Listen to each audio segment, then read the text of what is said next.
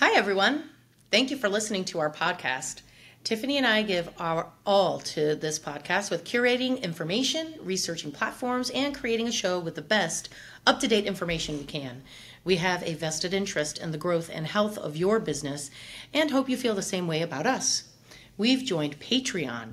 Become a patron for as little as $5 a month, and you'll gain access to our community, exclusive behind the scenes, speaker access, publicity for your business, webinar discount opportunities, and more. Please support us so that we can continue supporting you. Hello and welcome. I'm thirsty. Are you thirsty? I am so thirsty. For those of you who can't see us, we are drinking out of our new BBSB cups. Mm. Yes, and so um, these are really cool, and you will likely see us sipping out of these quite a bit. I promise. mine has- Very subtle. yes, mine has chai, um, just in case you were wondering. Mine has a clear liquid in it. Yes. So, anyway, and uh, today we're going to be talking about something that is incredibly important. Uh, it is about the sale of your business and um, what how you should prepare for it. It's going to be um, it's going to be a lot to talk about. So, could you be considering the sale of your business? Do you see an end date upon the horizon? Uh, maybe you're seeing a retirement stage or age, and you want to start getting your ducks in a row. Um, maybe you don't see the value in what you're doing anymore, and you just want to get out.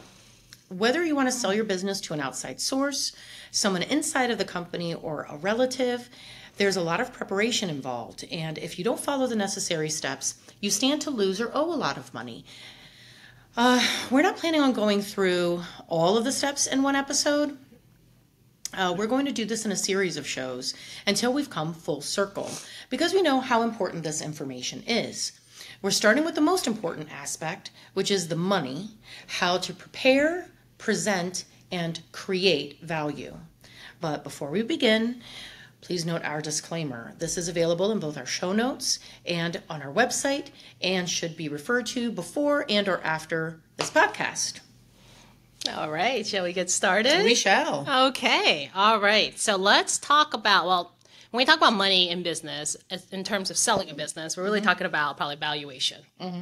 Which is that word everybody dreads to hear sometimes mm-hmm. because most likely what you value value your business as is not what somebody else values it at. For sure.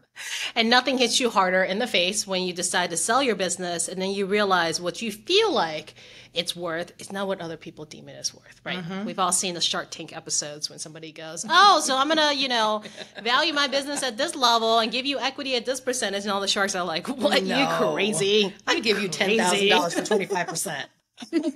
But that is the truth, right? When somebody buys your business, mm-hmm. they're looking at valuation very differently than you. And if you want to sell your business, you need to get with the game and understand how your business will be seen because ultimately, if you want to sell, you need to know how to sell it properly. Mm-hmm.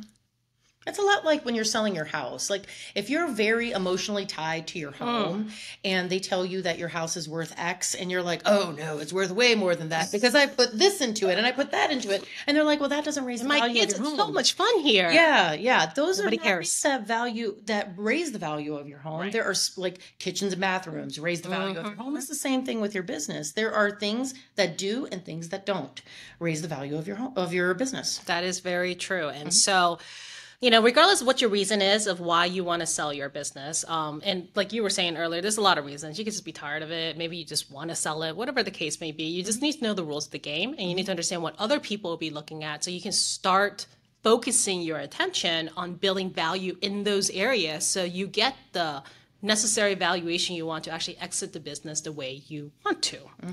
So um, there's quite a few factors, but I think I boiled it down to about eight factors, just kind of in a summarized form. So factor number one is, I know you'll like this one, financial performance. Oh yes. Yes, yes, of course. Revenue, profit margins, cash flow, all that good stuff means so much when you're trying to sell your business. And generally, of course, as you would imagine, businesses with a stronger financial performance have a much higher valuation than those who do not. Mm-hmm. So let's also think about, you know, what kind of revenue you're bringing in recurring subscription based revenue are usually valued higher than say if you go out and your services is basically to customize whatever solution to whatever your customer wants. You may be making a lot of money, but when it comes to valuations of selling your business, you may not get the value that you want per se because mm-hmm. it's not a predictable source of revenue, which as a buyer, hey, that's the type of business I would want to buy. Mm-hmm.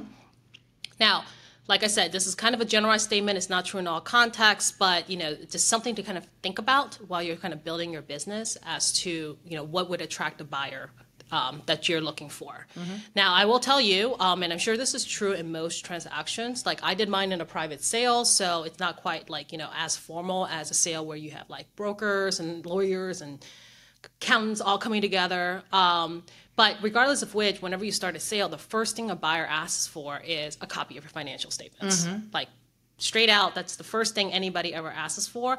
And if uh, you can produce one relatively quickly, or if you can't produce one relatively quickly, actually, if you can't produce one relatively quickly, or it's not accurate, that uses usually raises like a big red flag to mm-hmm. any buyer. So just kind of keep that in mind. Mm-hmm. And I would say that one of the biggest red flags are not what you would think it is. What you may think it is is, oh, they're thinking that I just don't have um, correct financials. No, really, it's showing how unprofessional you are. there is that too. yes, or how serious you are. Yeah, the there's sale. a lot of there's a lot of things that buyers glean, right? Because I mean, after all, they're putting a big chunk of money into mm-hmm. your business. It's like buying a house. Right? Yeah, it's a absolutely. big chunk of capital, mm-hmm. right? And when it's unprofessionally done, it's delayed. You can't cop up financials. It says a lot about you as a business owner, and yep. it gives them an idea of what kind of business they're buying. Mm-hmm. So, absolutely. yeah, just kind of you know think about you that. keep that in mind. Something tells me you're going to talk more about this. I am. Later. okay, the second thing is market competition, right? That's another factor that kind of affects your business valuation. Your if your business is in a very highly competitive market, it might be difficult to achieve a higher valuation. I mean, it's just kind of logical in that sense, right? You have a lot of competition out there. What makes your business unique? You have a lot more to fight against to actually get a bigger market share. It's just a lot of going up against you. So mm-hmm. you're just not going to be valued quite as high. Whereas if your business is really niched, um, it might be a little bit easier to get a higher valuation for mm-hmm. yourself. Yep. The third thing is industry trends. So, um, if your business operates in an industry that is growing rapidly, which I think in the last 20 years we can all agree that in the IT industry, it is an industry that grows pretty mm-hmm. rapidly. Mm-hmm. All the people coming up with new applications and softwares and whatnot, it is much easier to achieve a high valuation. Mm-hmm. We've all heard the story. So and so company got sold, you know, for however many multiples and however many millions. Yeah. This is the reason why. Mm-hmm. Um, but if you happen to be in a business where you know the industry is kind of declining, a little bit outdated, then you know as you would imagine, you may one not have as many buyers, and two your valuation just wouldn't be as high as Cupcakes, well. Cupcakes, cake pops, martini lounges. Although you thought that like laundry mats may be declining, but it seems like they're coming back with all the rage. Oh yeah, vending machines. Oh yeah. Apparently it's all the rage now too as well. Mm. But yeah, cupcakes, that's a good one. That that was a huge thing for a while, right? So what were martini that? lounges. I don't remember martini lounges. but was that a Midwest? No, I don't know. I, I don't know. Although it sounds nice.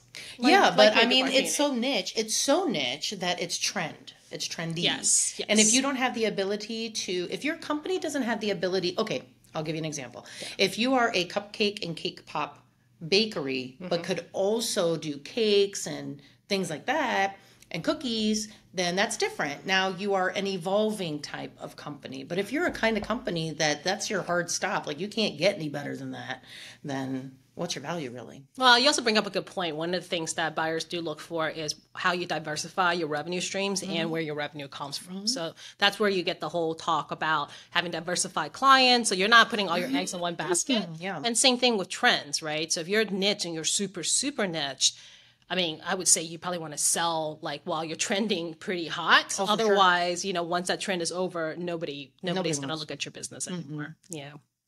All right, number 4 is management team. So, of course, a management team can really affect your valuation. Some a team that's strong, that's experienced, can actually increase the value of your business. While if you have a very weak, inexperienced, or poorly structured team, can actually hurt your valuation. Mm-hmm. So, for example, if your business is overly reliant on a key employee in your management or in your team in general, or it's overly relying on you as the business owner, um, that can actually affect your valuation, or you might just end up getting getting a uh, deal that has less favorable terms. You know what I mean? All right. Number five is assets. So, um, assets meaning uh, property, equipment, or inventory, these kind of assets, even intangible um, assets, which I'll go into number six, IPs, patents, and trademarks, these usually play a role into your valuation as well. So, all this will be taken into account when somebody kind of offers you a price for your business because they are, you know, likely going to buy all of your assets. Which leads me to number six, which is intellectual property. So when I think of assets, the only reason I split that up is because most people think assets, they think like physical assets, Like tangible things. yeah, like inventory and stuff. But you know, in- intellectual property these days are also actually really big assets, right? So you can IP, you, you know, your trademark, you can maybe even IP your process, you can IP something that you're um, obviously created or a product like that. That has a huge impact on what the valuation of your business is too. So think about that too, because you know maybe you have something that can be IP'd and you simply don't know it, or you don't want to spend the money to actually get it done, mm-hmm. and you know ultimately that might affect like how much you're going to be able to sell your business for. Mm-hmm. All right, number seven is brand reputation. So, as you imagine, if you have a strong brand and it's well known in industry, then that also kind of plays into your value. Um, buyers actually do look at, at how strong your brand is to determine how much you're worth. So, it's not always just hard numbers because uh, you know, brand, I mean, it kind of equates to hard numbers at the end of the day, but like in it itself isn't exactly like a, I feel like it's more qualitative than a quantitative measure of the business. So, but it does actually play a huge part into your valuation. And I mean, we've certainly known a lot of large companies with great brands that sold really, really well. And the reason why they sold really well is because of their brand. Because it's not like they're the only one in their you know industry that does what they do. They probably have a lot of other companies that do what they do, but because they're so well known, they can actually command a higher price. Yeah, and that also speaks to brands that are either named after you or hold a family name of some sort. Yeah. Um, if that name at this point is so big that it's disassociated itself from you, the person, that's different. Yeah. But if you and your brand are one and the same, I would think that that would affect the value of your company because people are going to always expect to have you there.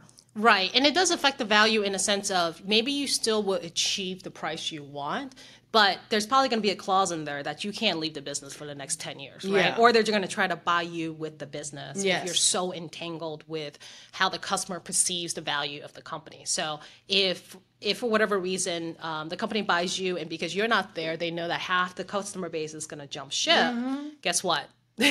they're going to really want you there, which means they're either going to pay less so they can incentivize you to stay longer by giving you a higher payout after the um, after the deal, Yeah. which you may not want, right? A lot of people want to sell the business to retire, not to stay on board and basically work for somebody else Yeah. for the next 10 years. Yeah, or to be on the board, to have to be on, but to be stuck on the board. Yes. and yeah, just so that you're there. you don't want to be obligated to do stuff like Mm-hmm. that. So that that's certainly something to think about as you're building your business today of how you how you want to exit so you know how to actually build it. Mm-hmm. Now, on the flip side, there is nothing wrong with selling your business and staying on board with it afterwards. A lot of people create a business that becomes really valuable and really good and then they quickly realize that oh they do not want to be the head of the ship No, no, no. Yeah, you know definitely. like they enjoy a technical aspect of the business and so they rather sell it to someone else who maybe has the know-how to uh, support the operations Mm-hmm. and all the back office and then you as the owner become maybe like a lead or a partner of a department a lot and- of family businesses. Yeah, like and you get a lot of auto- autonomy, right? Because Mm-hmm. you find a good buyer that gives you the autonomy, and you find the perfect place for yourself Mm-hmm. where you know you continue to do what you love to do. You're making money, but you Mm-hmm. have much less stress in the areas that you really just don't don't Mm-hmm. care to operate in, anyways. So you could do that as well. All right, the final factor is uh, kind of what we were leading to is customer base how loyal and how strong your customer base is will certainly affect your business valuation. Um, they, they'll probably look at your customer retention rate, they'll look at the satisfaction level, they'll also look at your customer acquisition costs. Um, I would say that a lot of small businesses actually have no idea what most of these measurements are, but it is something that you want to think about measuring. Not just because you want to sell your business, but it is good metrics for you to just for know. sure. And it and also just so you know that there is it's generally called churn. Yeah. just in case someone says that to you like what is your churn rate? And you're like i don't know. Uh, that's what that means. It's like basically what is your turnover rate? What is the rate at which people become a client as opposed to not being a client anymore or whatever if that's something you can measure or even i guess if it's a if your company is a transactional mostly transactional like say it's a, a, a convenience store Sure. or something like that where there's really no clientele Right. i would imagine that it would be more measured through the money it makes Yes, yeah. It depends what industry you're in, right? And if you're in a service-based industry, like uh, both of us are, then certainly this has a lot of merit, right? The churn is basically how long. Well, when uh, how often do your customers turn over? And in our service-based industry, retention is everything. Um, customer acquisition cost is typically a lot higher than retaining and upselling a current client. And a buyer would want to know is, you know, how how loyal is your customers to you, or are we going to end up buying this and spending a lot of money trying to acquire new clients? um, because you simply didn't have that in place already.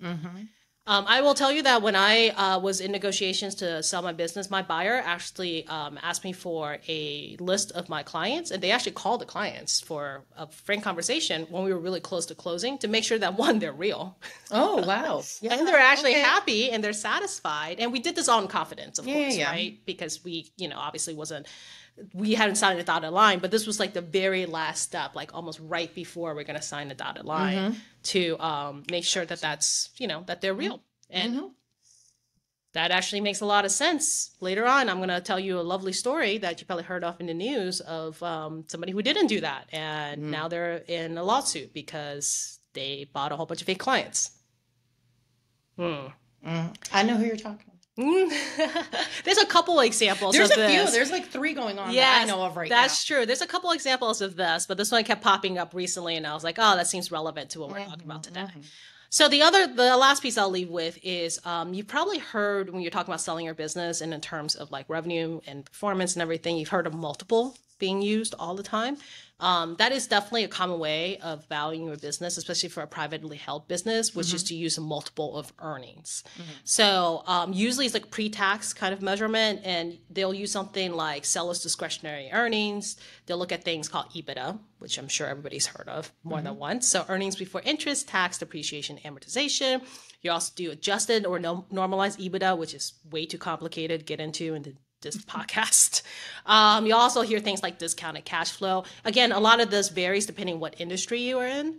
Um, revenue is also a multiple that's used. Um, it, again, it's very industry specific. It's not one that's used very often. But like for example, when I was selling my accounting business, accounting and finance happens to be one of those service industries where you typically sell based on your multiple of revenue, and it's usually about 0.75 to 1.5 multiple of your revenue.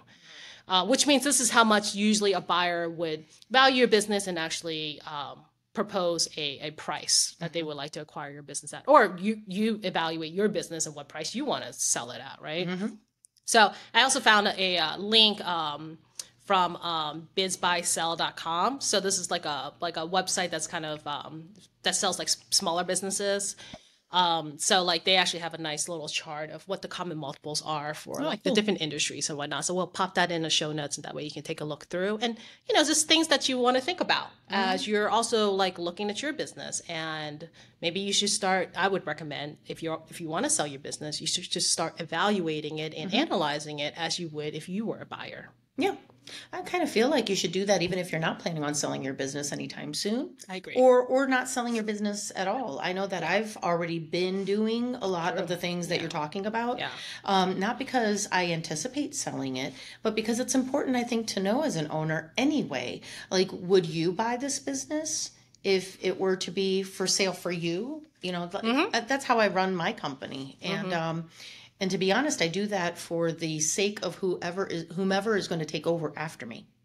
It's a solid business. I mean, these are all metrics that I think any business should be looking at, even if mm-hmm. you're not going to sell. Whatever your end game is, mm-hmm. it's important to look at these factors anyways from Yeah. a critical eye. Because I feel like it helps you kind of step out of the emotional pool mm-hmm. um, of you know building, you know, putting all the sweat equity and blood and tears into your business. Mm-hmm. Like this kind of helps you step out and kind of look at it from a very unbiased, critical eye. Yeah. and help you you know make changes as you need to For sure. to build an even stronger business. Mm-hmm.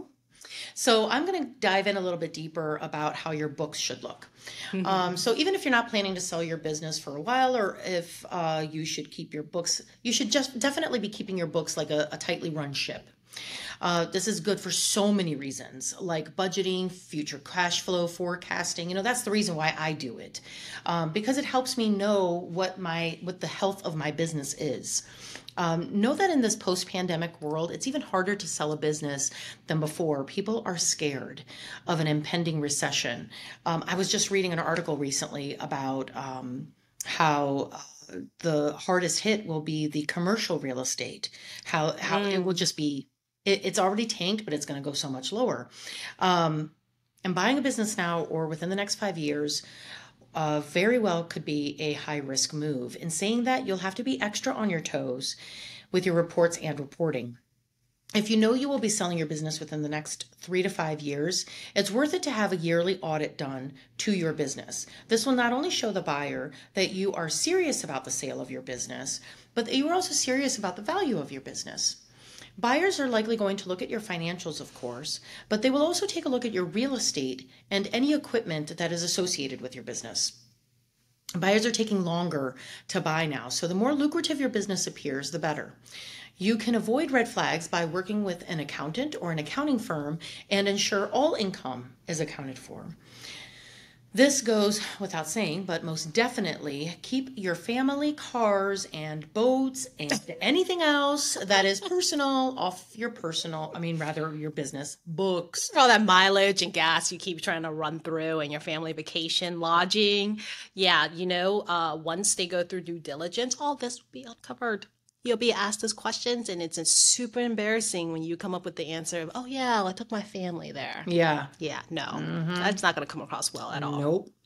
Don't be surprised if a would be buyer asks for a year to date results. So, being diligent with your past financials is just as important as being diligent with your current financials. at a minimum was on average at a minimum like buyers usually look for two to three year trends at a minimum mm-hmm. yeah Mhm. That's why I said three to five because Yeah. I kind of feel like let's take it a step further. Um, but I mean, it's just good practice. Um, it's also not unusual for a commercial landlord to also be involved.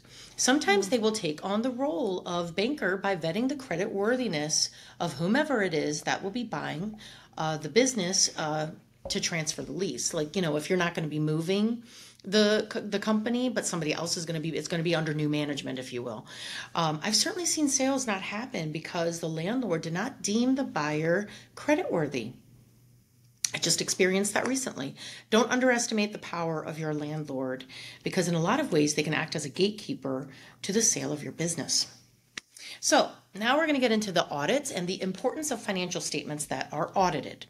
Financial statements audited by an independent CPA firm provides an opinion as to whether the statements are free of material misstatement. So basically, it's not just you and your perspective of your company's financial health, it's an independent outsider's opinion as well. To the term material refers to an error in your financial statements that is large enough to change the opinion of a buyer. So, for example, if your company has a million dollar balance in inventory and there's a $500 error in your financial statements, it's probably not going to change the opinion of your potential buyer.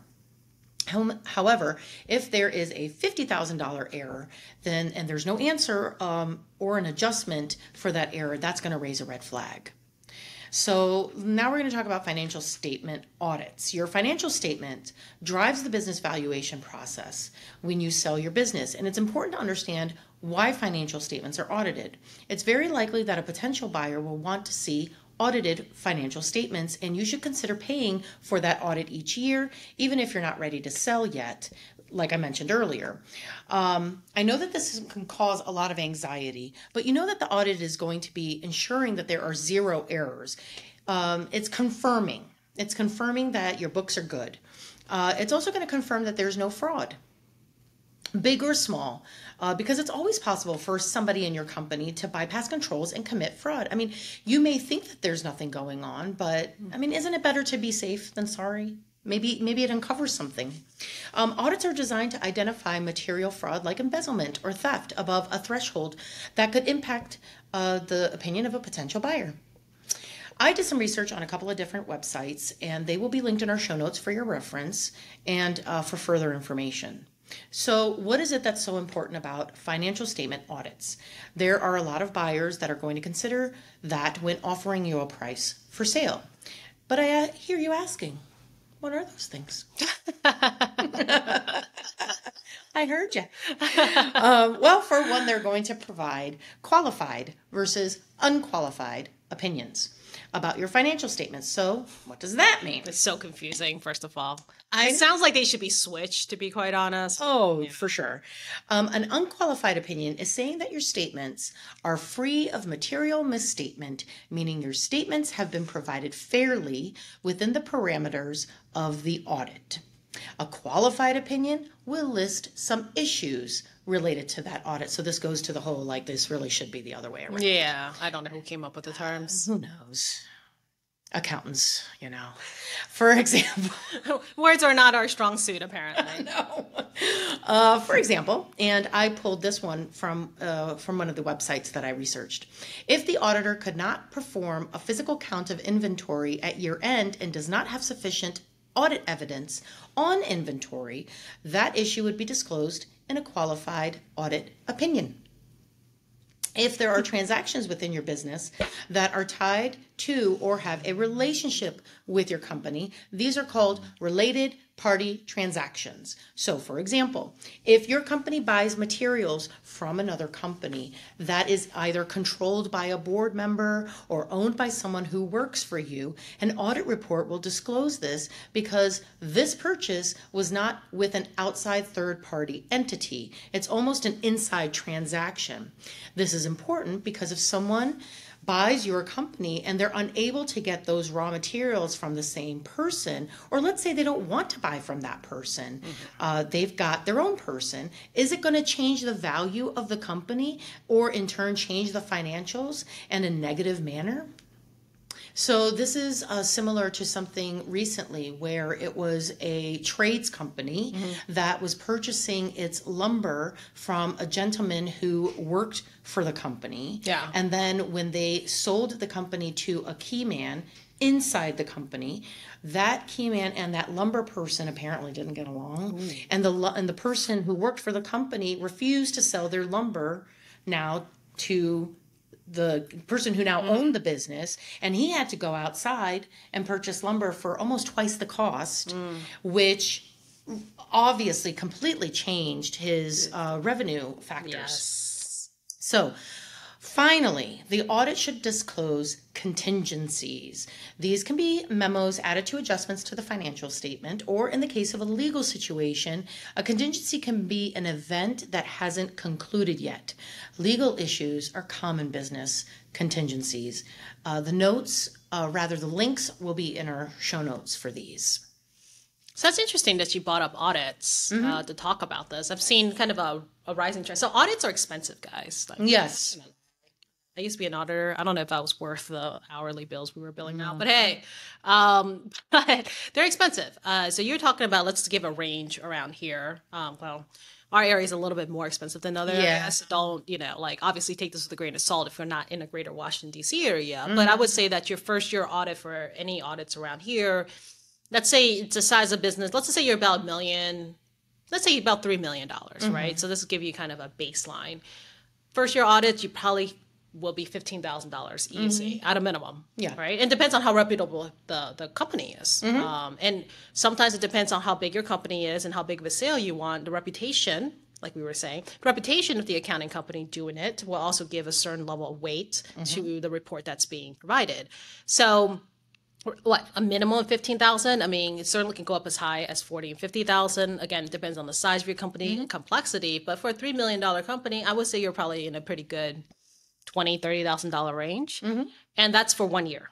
Yeah. Right. So you you know if you think about it, it certainly adds up over time, but you know, if that thirty thousand dollars can get you a three to five million dollar sale, you know, who are you to, you know, yeah, probably would be worth the investment. Now, the other thing is there are other other um, trends rising about um, not just audits, right? So there's also accounting firms also do what's called a quality of earnings report now, which is similar, right, in a sense, but also not the same. Um, audits are very rigid. Yeah, they do a lot of testing. Yes. It is, and you're right. it There's a lot very of compliance. Um, they they measure you against uh, GAAP, U.S. Mm-hmm. GAAP, which is the uh, generally accepted accounting principles. So it's very rigid, and for but the great thing about it is that GAAP is just think about like trying to create like a universal language for all of um, accounting and all the businesses, right? So they say accounting is the language of business, right? So this is like a universal language, so that when people see that um, they see like audited financials between um, two companies, they know that there is common assumptions and common um, rules that's being played in order to provide those reports, right? And so that gives you a certain level of comfort that what you're looking at is verified and there. Um, so the quality of earnings is similar in a sense that it provides some kind of a, um, comfortability because it's an unbiased third party firm coming in and doing like um, a review and analysis of your business but it's also set up very much like the report is so much bigger than an account an audit report. It, ta- it talks a lot about the business. It's really done to help businesses sell right and help like certain parts of business shine um, in that sense and um, not that much less cheap it's a little bit cheaper than audit but not that Not much that much less cheaper. cheaper so just just be aware that there's some some some money you'll have to put into this right Well, but I do feel that it's worth it if you've got a company that is worth a few million dollars. To me, that's chump change to do to I pay for for so. three years Yeah. or you know up to five years. Yeah. Um, when you're looking at a, a huge sale, I mean, So it depends too. Like, um, if you're looking at a smaller sale, right? So uh, these days, like, it takes a lot of money to to to sell. it. It takes it takes a lot of money to earn from a sale of a business for you to retire forever, right? Right. So. Yes, I know we hear about that all the time in the news, but guess what? I mean, honestly, they represent like 1% of the entire sure. businesses Even in the United States, right? We just hear about them more, so we think it's very common, but it's not common. Most sales are way less than what you hear about in the Mm-hmm, news, right? And there's a lot of sales of businesses under a million dollars. There's a lot. You just don't Mm-hmm. Most hear about them. them because it's not popular to talk about, Mm-hmm. but it's not such a great story for news channels to pick up on. But there's a lot that happens then. So if you're under a million, um, maybe you don't need to do an audit. Maybe you don't need to do a quality of earnings because it's so expensive and you're not talking about that many dollars. But having a professional accounting firm actually put together your financials or keep up with your books would also say a lot to sure. a buyer when they see that you're serious and that what they're looking at is probably far more accurate or you know done in accounting language than it would be if you or a family member. Mm-hmm. You a family member or somebody who's doing it for free or for a very cheap price you know would, mm-hmm. would do right, and um, they they expect a certain level of accuracy when it comes to mm-hmm. these financials because why wouldn't you? If you're going to buy this it's like you if you were going to spend money buying something else you kind of want to kick the tires and make sure Right. that that's right so yeah All right. Um, so let's get to the raw truth, where we each share our own gritty experience with today's topic. We want the listeners to know that success isn't easy, it's not pretty, and it's certainly not a straight line. We hope you will hear our cautionary tales and learn from them. I apologize for my sniffling pollen season This is I don't have allergies, but my gosh, just a lot of pollen. So it's I like know. backing up my like uh, Yeah, me too. Trying to keep from hacking, so I'm Yeah. holding it together. Sorry for that. I was like, oh, I can't help this. Okay. All right. So the raw truth for me is, um, I mean, I think we've talked about this, right? So having gone through like a private sale, um, I did a lot of homework in terms of like strategy and figuring out how to build the business for a sale. And uh, one of the things I did, which I don't think I did enough of, because you know it's hard to it's hard to gauge the experience of something especially if you haven't gone through it yet right? So i knew it was coming and i thought i was prepared but then after going through it i realized I wasn't as prepared as i thought i would be right? So anyways long story short is what i'm talking about is just the mindset right?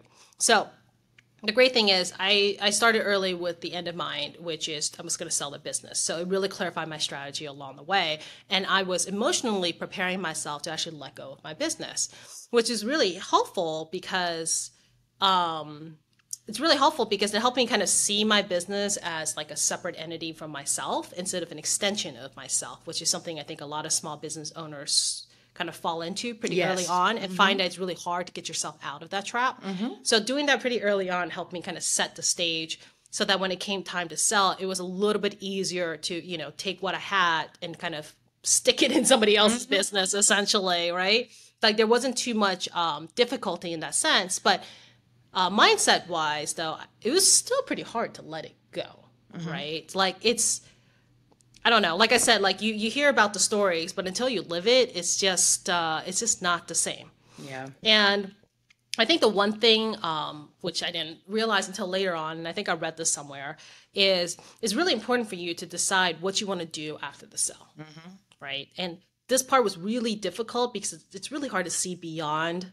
I mean, first of all, you're also working a lot and you're working really hard, so cramming anything else into your mind is just really difficult. But I think it's really important to know what you want to do after the sell, not just you know how you want to interact with the buyer after the sell, but also what do you want to do Yeah. after the sell? Because like we talked about earlier, you know, unless you're selling this for like eight, nine figures, I mean, most people do not sell their business and are able to retire. Mm-hmm. Like, You're just- gonna have to do something else. you you're gonna have to do something else. Plus, it is a you know it, you have to prepare for kind of the loss of identity um, as you get to this sell because once you sell the business, guess what? You're not an owner of a business anymore. Mm-hmm. Like that's it. Like you're not an owner of anything. Yeah. and honestly, like unless you have a really big sell, like nobody cares that you sold a business. right? Yeah. They only care about who you are now, what past experience you bring to the table, what kind of value you can bring today. They don't really care that you sold a business. Mm-hmm. Um, and so, you know, you kind of get like, you know, so that if you don't sit in this limbo for too long, which I'm telling you is not healthy for anybody, mm-hmm. like you want to know, like, what do you want to transition into after you sell your business, right? It's a good just- idea to do that beforehand. Oh my gosh, yes. Because guess what? You do that afterwards. It's going to take you three to four months to figure it out, maybe six months to figure it out. Hey, mm-hmm. maybe talking from personal experience there. But, mm-hmm. but yeah, I would say that that was probably like the biggest, most jarring, I guess, realization um, after the fact um, that I thought I was prepared for. But yeah, I was, you know, once you live it, it's a very different story. I So agree. I would advise that. I agree. Well, I have not been in this situation, so I've no raw truth to add. Um, I will say, though, that I've been a fly on the wall, so to speak, of a client or three over the years, and um, that, that, that have either tried to sell their company, has sold internally, and one that wanted to buy a business but backed out due to the financials. Uh, the biggest thing I can say that was a red flag that all of them shared was that the owner not only didn't pay themselves, uh, but they didn't show what paying themselves would have been or how it would have affected the financials. This is very important, mostly because, at least in one case, the amount the company showed to be in profit was less than what a pay would have been. So if the company had paid, if they had been paid, if they had a salary, um, the company would have been upside down.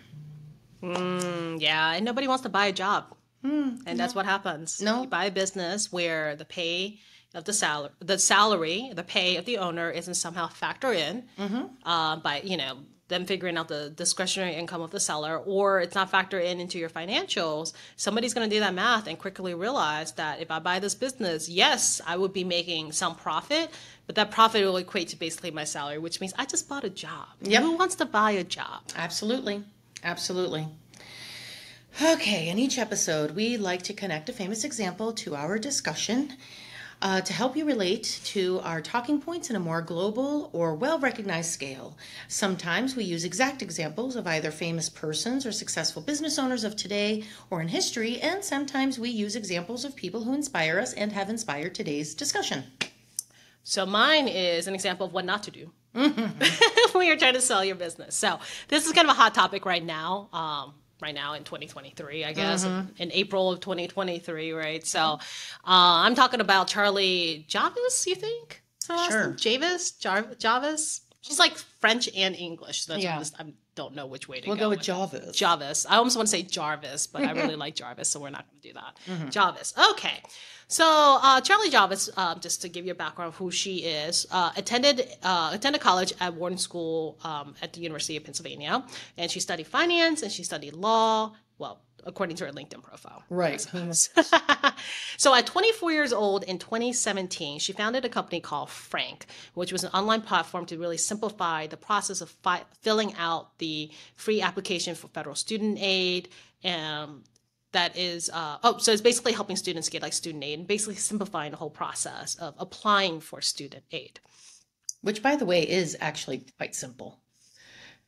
I've had to do I, it for both for my older child and now my younger child, and yeah, it's really not as hard. I don't know how difficult it was. Into I mean, I feel like okay, so I feel like in the early two thousands it was a little complicated. Maybe it was right, but I think that's also before there was a lot of scrutiny when it came to a lot of these like, yeah. financial aids and stuff. But I mean, this was 2017. This was not that long ago, mm-hmm. so I, am not really sure how difficult it was. But I'm not I'm not here to judge. But you know because you've actually done it recently. Yeah, I did it. I guess I did it in 2019. So 2018 2019 is when i filed for fafsa for my daughters and it was very very, very simple. Okay well so but apparently uh, she claimed that she had some real world exper- experience with financial aid and really struggled to pay for college. Um, although, you know, it's kind of ironic now because she was also listed uh, one of those 30s under 30s on Forbes magazines on the finance list. And part of her profile said that she grew up in like a very affluent Westchester County of New York and she rode horses and attended French American School of New York. So, yeah, well, well hmm, okay which one is it? Which one is it? Right. Also said that her father worked as uh, worked at a hedge fund. Her mother was a life coach, and um, but regardless, you know, uh, she said that her mother and her really struggled when we were talk- talking about financial aid, and really had tough conversations, grueling, emotional, as she would say, with financial aid officers when it came time, I guess, to paying for her college education. So she said that she started the company with a, a, a rebellious spirit and a big, big goal that students should just pay less for college. Anyways, so she started her company Frank in 2017. In about four years' time, she herself, or Frank rather, became the leading and fastest growing college financial planning platform that served over 5 million students in more than 6,000 colleges. Wow. So around this time, as one of the chief executives, uh, she set out to actually sell Frank and caught the attention of J.P. Morgan Chase, the bank. Mm.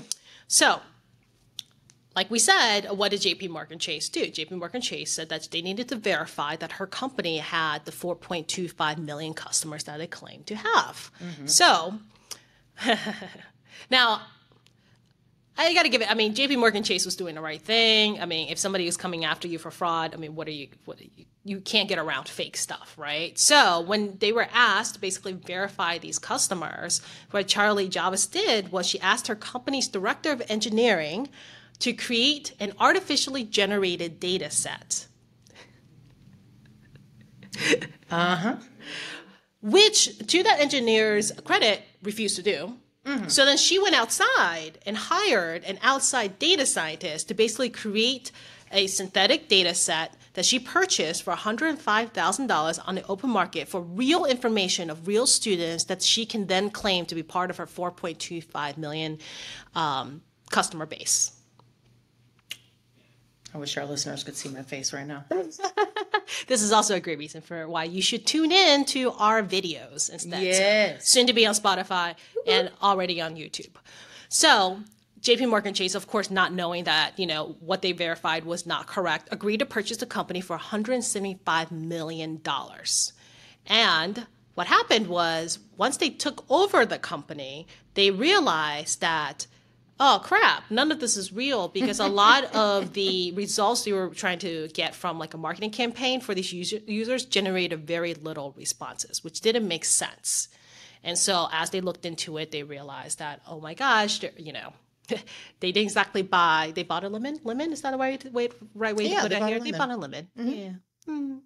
So, um, just to give you an idea of the size of the deal, so according to the SEC, um, the $175 million acquisition meant that she, uh, uh, received 9.7 million directly in stock proceeds, millions more directly through trust, and a contract entitling, entitling her to a $20 million retention bonus as a new employee of JP Morgan Chase. Hmm. That's one juicy deal. Mm-hmm. Mm-hmm. Delish. Mm-hmm. So, as of today, Jarvis is, uh, was charged with one count of conspiracy to commit bank and wire fraud, one count of wire fraud affecting a financial institution, and one count of bank fraud. For each of these counts, she, she is charged with carries a maximum sentence of 30 years in prison. She also faces one count of security fraud, which which carries a maximum sentence of 20 years in prison. And as of today, which I think literally as of today or yesterday, she was out on $2 million bail and has agreed to electronic monitoring and curfews and um, also has been told that she is not allowed to talk to any of the investors of Frank while this is being decided what her fate's going to be. She can't hate the play or hate the game. The thing is, I think she knew the, the, the rules of the game. She was just trying to play the rules of Don't the play game. the game unless you know you're going to win. Ooh, I know. Well, I am going to be on the flip side of that. Uh, my famous example is Indra Nooyi. She is an Indian American business exec and former CEO of and, and chairperson of PepsiCo. also a lovely speaker. I've seen her a couple times on the YouTube, Oh. like like like uh, platforms, whatever, when she was speaking. Oh, good speaker. She was amazing, and I'm Great not really I'm not really gonna. I'm gonna be glossing over a lot of what she did for uh, changing Pepsi to what we know it as today, uh, because she did experience a lot of pushback, and there Mm-hmm. were some very controversial things that she chose to do. Um, but we're gonna start with um, her having joined PepsiCo in 1994, and she had an almost immediate influence on the company's strategic direction. In 97, she spearheaded the sale of Pizza Hut, KFC, and Taco Bell for 4.5 billion. They used the proceeds towards their $8.5 billion debt. So they reduced their debt in half and they were able to push their buyback strategy forward, giving them more muscle to invest in future business developments. The following year, Nooyi played a key role in PepsiCo's acquisition of Tropicana.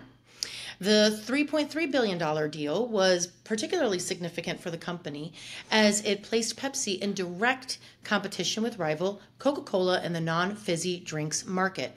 Now, you may or may not remember um, where Coke was and where Pepsi was prior to 1994, but there is a fantastic podcast on um, business, Business wars. Wars. I was also going to say they had a they had a big show about it. yeah. is amazing. You must, must, must listen to this. They do go a little bit more into the grittiness of what she had to endure and and what what she did really for Pepsi. But prior to her showing up, I mean, Pepsi was looking at not even being in existence anymore. Like it was really, really bad. It was a big rival, like in the '90s. I remember Coke oh, versus Pepsi, Oh my god. which came out with such great commercials that we talk about today. Totally. but like this is at a time when Coke was just killing the scene. They had new Coke, they had come out with uh, Diet Coke and Cherry Coke. All of that came And out in like Pepsi went the celebrity route. I feel like I think they're the did- first one to bring the celebrities into the. They did. They did. Um,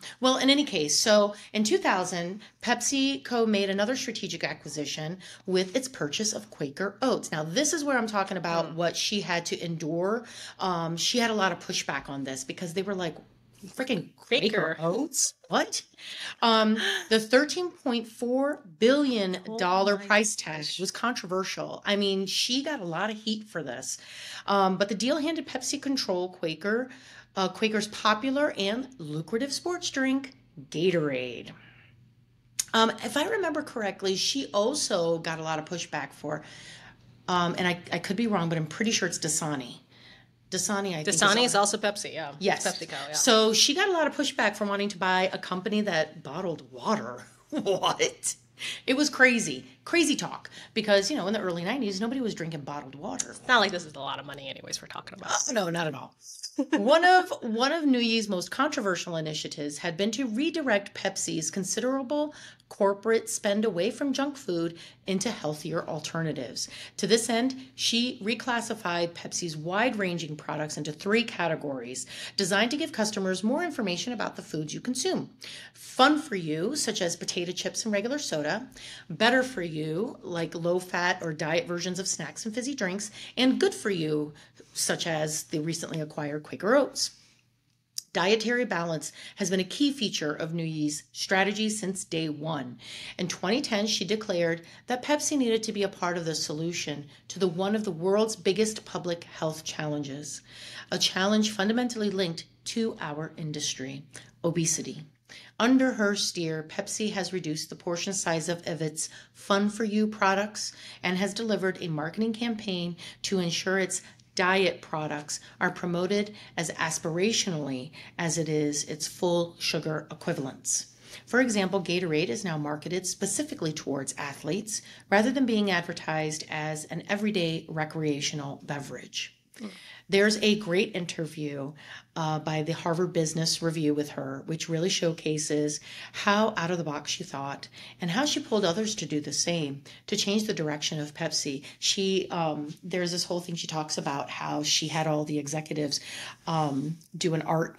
an art project and like half of them didn't do it and then the rest of them didn't even understand what they were doing and she was like how can we how can we be creative about our art when you're asking me should we change the blue to a different blue you know so the link is going to be in our show notes That is pretty amazing, though, because Yeah. she's talking about like you know turning the head of a giant, essentially. oh yeah yeah. Yeah, I mean, she was she is very aspirational. I feel like, and um, a great, yeah, a great example of what we're talking about here. Um, so, uh, with each episode, we like to share either books, tools, apps, or platforms, or anything we think is a great next step and connector to our discussion. So, if you like our subject matter and want to learn more, this you'll have a great place to start. Yay! So of course I have podcasts and books to recommend. Mm-hmm, Um, so when I was when I was actually doing research to uh, figure out how to how to kind of build my business to sell naturally. Uh, John Warrilow's book, uh, Built to Sell, kind of came up top of the list. Um, it's a very popular book. It's also a very short read. I actually forgot I had the book, so I had to go back and look for it. And I was like, oh, I already bought this book. um, but yeah, it's a very short read, but it kind of gets you in the right mindset um, if you are wanting to sell your business, kind of the things you want to prepare for. Um, the other the other book that he has is called The Automatic Customer. Um, I haven't read this yet, but I actually really do want to go read it. Um, it's called The Automatic Customer: uh, How to Build a Subscription Based Business in Any Industry. Um, and like we were saying a little bit earlier about how reoccurring subscription based revenue tends to command a higher valuation most most of the time. Um, and plus, I just love the fact that love the fact of reoccurring revenue. Let's just yeah. be honest. I like it too. but it is a challenge sometimes, um, or most of the times, to do this in a service-based industry. So I also, um, I mean, I like a good challenge, so I always like doing it. But it is possible, so Yes. just keep that in mind. But anyways, great book, probably to go check out. Um, he also has a podcast called Built to Sell, so definitely listen to that. He interviews a lot of people who are buyers or sellers of their businesses, so you get to really hear a lot of great insights uh, as to, especially buyers, what they're looking for, how they look for. I mean, these are like professional buyers, right? Mm-hmm. This is what they do. They buy mm-hmm. businesses, you know, and then they restructure them, and then sometimes they sell them, sometimes they hold them in a portfolio, right? So it's really cool to kind of hear from their aspects of what they're looking at, and there are common themes. So th- good things for you to know as well. Uh, the other podcast I would recommend is um, Empire Flippers podcast. Um, they Empire Flippers, if you haven't heard of them, um, what they do is they buy and sell mostly in the digital space. So a lot of e-commerce businesses, digital businesses, and whatnot. They've made a really great name for themselves. Their podcast is incredibly good. Um, yes, I understand we're talking about digital sales of businesses, but still, the concept and the framework is largely the same. Um, and then last but not least, there's another podcast. Um, so I don't think this guy's as well known. Um, mm, maybe I don't know, but I kind of stumbled across him on YouTube kind of by accident. Um, but I like what he says. So basically, he's a business broker, um, and his name is David C. Barnett, and his podcast is called Buy and Sell Small Business. And what I like about it is he focuses on the small business. So we're not talking about ten million dollar sales. He's really talking about five million, mostly a million dollars in under mm-hmm. sales, which is, I think, practical reality. Yeah, it's probably the most common. Exactly. And so he actually really gets into buying and selling businesses of that size, which I certainly appreciate mm-hmm. because, you know, as much as I enjoy listening to businesses that sell for billions of dollars, that is not my aspiration. Yeah. Not that I'm going to say no to it. The universe wants to send me that opportunity. mean, I'm not gonna say no. Um, Exactly, but you know, it's it's never been my aspiration. So Mm-hmm. it's nice to hear about um, topics that are a little bit closer to the reality that we Mm-hmm. live in. I agree. Aim, aim low. no, aim real, aim real, real. right? Aim real. So, uh, so of course, as you would imagine, business brokers are helpful, right? So, if you want to get a business broker, uh, you you should find one that works for your size of businesses, right? Otherwise, the fees will get a little expensive, and um, there are a lot of brokers who are kind of spec- specific to smaller businesses versus the really large ones. Um, but you know, if you want to do a private sale, you want to go with a broker, you want to make sure you also have a good lawyer and a good CPA or a good tax accountant that can actually advise you on the tax implication of the deal that you probably won't be able to forecast and is mm-hmm. also super important to you afterwards because it's going to impact you. Mm-hmm. So those are those are really important to have. Because once it's done, it's done. Once it's done, it is done. That is correct. Mm-hmm. My biggest recommendation is to talk to a CPA. Uh, you may want to hire a firm that specializes in valuations, and I recommend you start getting audits done yearly. If not an audit, I mean, of course, again, we go back to how much is your company actually worth. If you're talking about a business that's a couple million dollars, I think it's worth the investment Yeah. of an audit. Yeah. Now, if your business is not quite that large, your business is maybe much smaller than that, maybe not so much a yearly audit, but definitely an audit before you sell the company. Well, so it depends too, I think, of how comfortable you feel with financials, right? Here's the whole. I think what we're getting at is pay attention to your financials, people. Yes. That's what we're getting at, right? Yes. So if you don't feel comfortable and maybe you hired a bookkeeper or you hired somebody who maybe is helping you keep together the books but may not understand kind of the greater um, story that your financials are supposed to to have and mm-hmm. you know have a firm outside of your company come help make sure that this is all put together Yeah. right so if you don't can't afford an audit or you don't want to do an audit even though i think if you if you are intending to sell an audit is not a bad idea at mm-hmm. all. But um that's for whatever reason let's say you don't want to do it you got to at least have financials that you know that are accurate and basically ready to turn on a dime when a buyer comes along and says hey mm-hmm. i have intentions of buying a business. Can i review your financials to see at least the preliminary what am i getting myself mm-hmm. into? And then you yourself also need to need to understand enough to to read these financials. Because if it's not telling the story you want then you you got to figure out why But know that you have to spend money to make money. I, again, I go back to the whole sale of a house. You know, like maybe you don't want to put in a whole brand new kitchen in order to sell your house for a higher level because your kitchen cabinets are totally fine. They may be 30 years old, but they're totally fine. So then uh, paint them or do something to make them look really nice and not just on the t- on the cover. I mean, like do something that's going to bring up the value of your of your home because a person's going to look at your house, let's say, and and I'm go I'm using your you know uh, as a symbol, but like they're going to look at your house and be like, oh man, uh, I'm going to buy this house for this much, but then I have to add a new roof, I have to change the kitchen, I have to change the bathrooms. So really, the price of the house is not this; it's really this. So no thanks, no deal. I'm not going to buy it. so, exactly but right. if you invest your own money into it and you raise the uh, value of your home, people are going to be scrambling to have a, a turnkey home. You want your business to be turnkey as well. So in saying that, you might want to talk to an M&A specialist Mm. as well. Conversations with people who do this for a living will help you get a better understanding of what to prepare for and how. Exactly. Like if you're new to buying a home or you're new to flipping a home, let's just even say, mm-hmm, right? Mm-hmm. Like just anything about a home, right? You don't know where the value is. You don't know if adding like okay, well now we have HGTV, so this is a little Oh, bit different yeah, or but whatever. yes and no, but- you yeah, but you probably don't really know where to add value into your home. Like should you finish the basement or is that more important than the kitchen? Is that mm-hmm. value more than the bathroom? You don't know this. And so you may spend a lot of time just kind of running yourself in circles. Whereas if you just talk to an M&A specialist, which most of the time they're open to have a conversation oh, because yeah. they would love for you to be a customer in the mm-hmm. future, they can point you in the right directions of what you do, where you need to add value to your business, for your industry, for your type of exit. So at least now you know what you're aiming for, and mm-hmm. you're not blindly just trying to figure it out on your own. Mm-hmm. That's I think that's the key. That I think is worth the best. That to me is the yes, worth the be- the investment. investment. You. and, on that uh, and on that note, let's close out today's episode because we've lost our words already. Yeah, totally.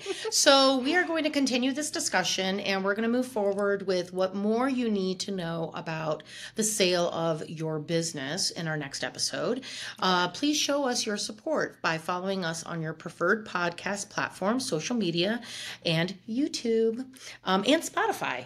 So Yes, we can finally upload videos to Spotify now. So please like, please leave a comment, please like, please leave us a review because Totally. that's what keeps the platforms promoting us. And you know, we we need their help because we're on their platform to help promote us, as well as all the promotion we do ourselves, and of mm-hmm. course the promotion that hopefully you're kind enough to share our episodes out there with any friends that you think will find it interesting. And I'm doing my best to keep our Instagram up to speed and up to date as well.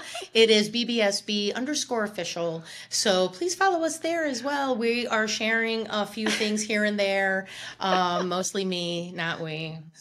Um, True.